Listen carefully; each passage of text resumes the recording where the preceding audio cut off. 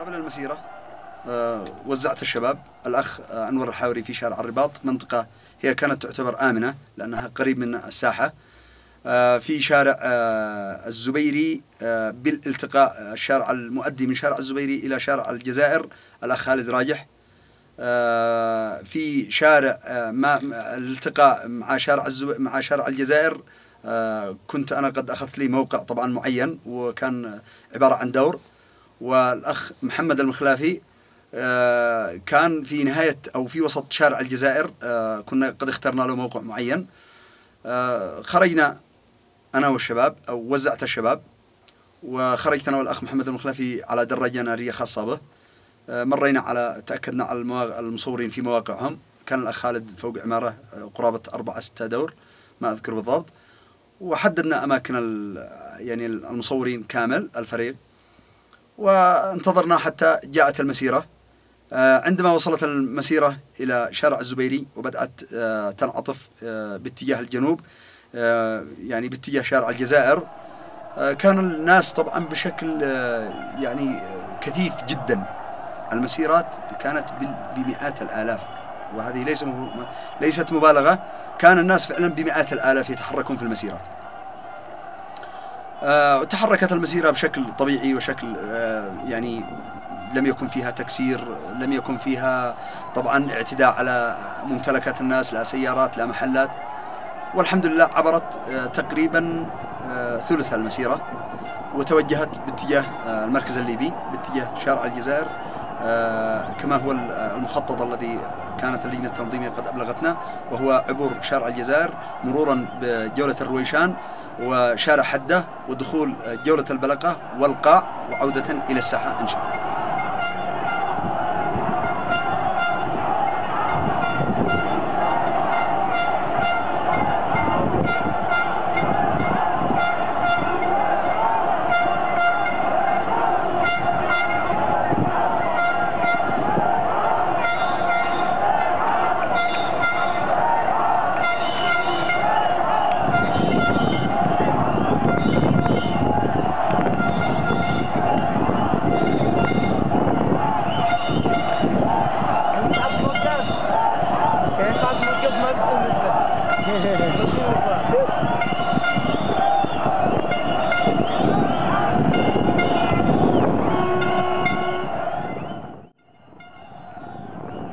أول ما وصلت مقدمة المسيرة إلى آه، تقريبا أمام المركز الليبي كان رجال الأمن اللي ممثلين بوحدة الأمن المركزي.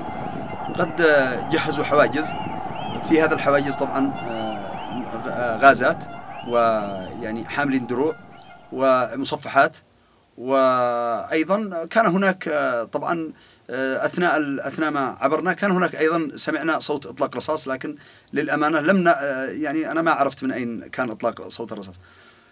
أثناء ما المسيرة تعبر آه، أفاجأ ثلث المسيرة قد كان مر.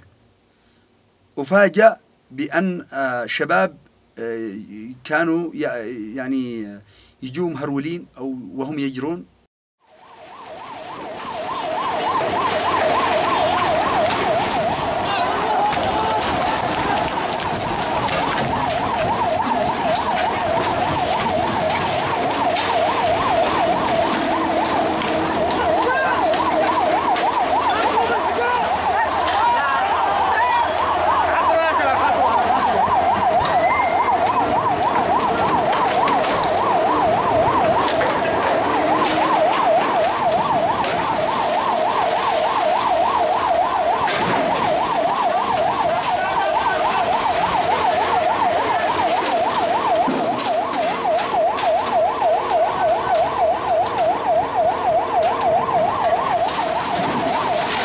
كنت أسمع أصوات للقنابل الغازية التي كانت كانت تثير الرعب في قلوبنا جميعا. آه، وكان هناك أصوات لإطلاق رصاص كثيف جدا وكان قريب جدا ولم نكن نعلم من أين يأتي هذا هذا الرصاص. يعني كانت كنت أجد الضحايا من كل مكان. فكنت أرى دائما أن أن مكاننا رغم أن يعني تأخر الوقت فكان مكاننا هو في المكان الصحيح وكان في المستشفى الميداني. فعدت أنا ومجموعة من زميلاتي تفاجأنا بأنهم كانوا يلاحقوننا بال- بالدراجات النارية. فعدنا جريا آه، معنا بعض الحالات إلى المستشفى الميداني. تعرضنا لمحاولات للاختطاف أكثر من مرة في أغلب الشوارع إلا أنه كان معنا مجموعة من الشباب الذين حاولنا قدر المستطاع ألا يتعرضوا للإصابة والذين حاولوا أن يعني يؤثرون على أنفسهم ويحمونا قدر المستطاع.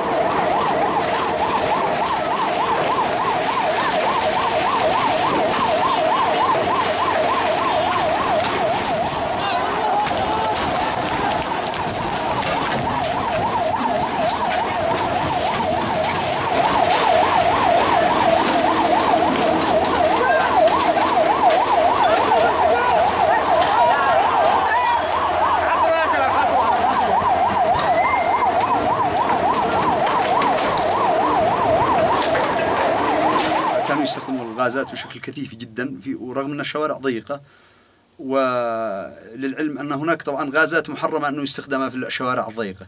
طبعا في قنابل أو نوع من أنواع الغازات محرم أن يستخدمها الأمن على الناس وهم في شوارع ضيقة بالذات إذا كانوا محصورين. طبعا الناس آه، كانوا بالمئات بمئات الآلاف. تخيل أنت عندما يأتي الغازات والناس يختنقون يتراجعوا للخلف والبعض يسقط على الأرض يعلم الله أني شفت مناظر آه، يدمى لها القلب آه، الناس انطلقوا حفاة لدرجة أنك تندهش. يعني تندهش ما ذنب هؤلاء وما هي جريمتهم حتى يعني يلاحقوا هذه الملاحقة.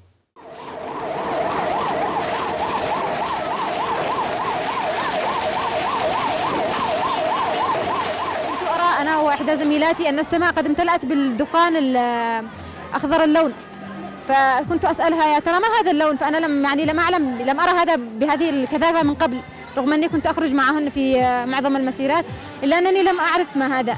فقالت لي هذا من النوع السام. فلم تكمل كلامها حتى مرت من جانبنا كثيرا من كثيرا من السيارات الإسعاف كثيرا من مجموعة كثيرا من الشباب الذين يحملون أشخاص. معرضين تعرضوا للإصابة كثيرا من الحالات التي يعني يئن لها القلب ويدمع لها القلب قبل العين. ف... فكنا كان أغلب الشباب كانوا يحاولون حمايتنا في البداية لكن في الأخير وجدنا أنه لابد أن نتكاتف جميعا لنكون كل يعني لكل منا يكون سندا للآخر. فانطلقنا جميعا كلا يساعد الآخر. فكنت أحاول قدر المستطاع أن يعني أن أكون أن يكون فيني جزء من عزيمة الشباب جزء من إرادتهم ومثابرتهم و أنهم كانوا دائما دائما يؤثرون يؤثرون غيرهم. يعني كل كل شخص يؤثر غيره عليه. فكنت أتمنى أن أصل إلى ما إلى إلى عزيمتهم إلى نقاء قلوبهم فكنت أحاول أن اثر الغير على نفسي.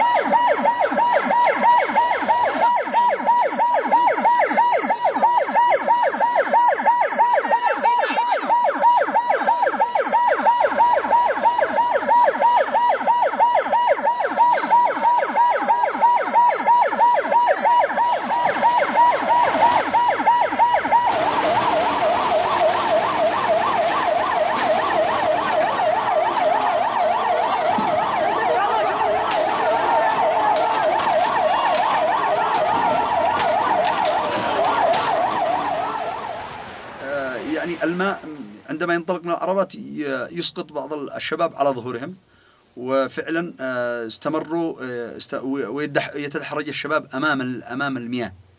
يعني أمام قوة المياه دفع المياه حق العربات كان يسقط الشباب وظل يست... يعني بملاحقة الشباب حتى وصلوا إلى شارع الزبيري أمام شركة سبافون. كنت أنسحب أنا كمصور كنت أنسحب آه، في مؤخرة المسيرة آه، الجهة التي مقابل للأمن حتى أستطيع توثيق الاعتداءات آه، يعني التي يمارسها الأمن ضد المنسحبين.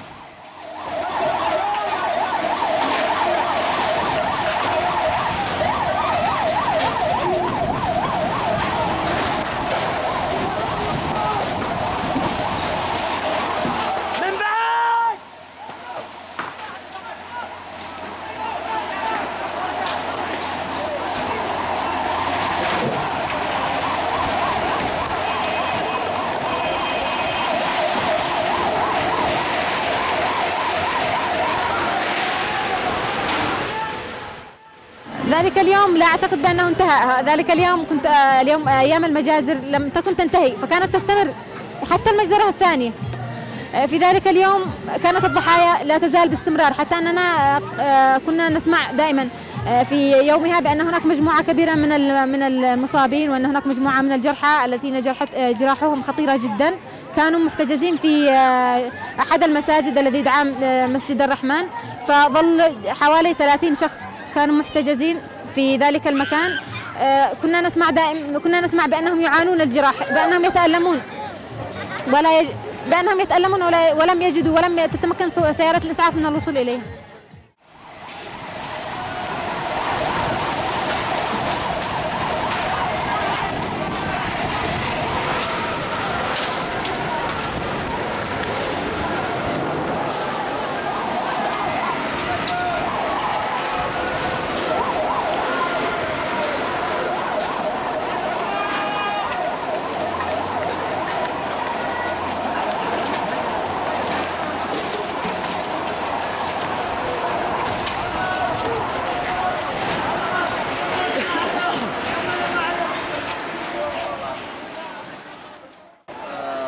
أنا من ضمن فريقي عندما وصلت الساحة وجدت معي اثنين آه، من الفريق المصورين آه، لم يعني ما قد وصلوش الساحة. الأخ خالد رايح والأخ آه، محمد المخلافي الأخ خالد رايح حجز في العمارة التي كانت أربعة دور وهي طبعا في قلب الحدث فما استطاعش يخرج إلا بعد أعتقد بعد المغرب أو بعد العشاء. والذي أوصلوه شباب حاولوا إخراجه يعني بوسائل ملتوية آه، إلى فوق تاكسي والتاكسي حاول يوصله إلى يعني أبعد منطقة ثم يعيده إلى الساحة. آه، أما الأخ محمد المخلافي فكان آه، يعني بالقدر أنه ابن صاحب العمارة يعني اللي تركه يصعد إلى السطوح. الأب ما كانش عارف. والأب يعني من موالين النظام. عندما عرفوا أن الولد يصور من السطوح طلع مسكه.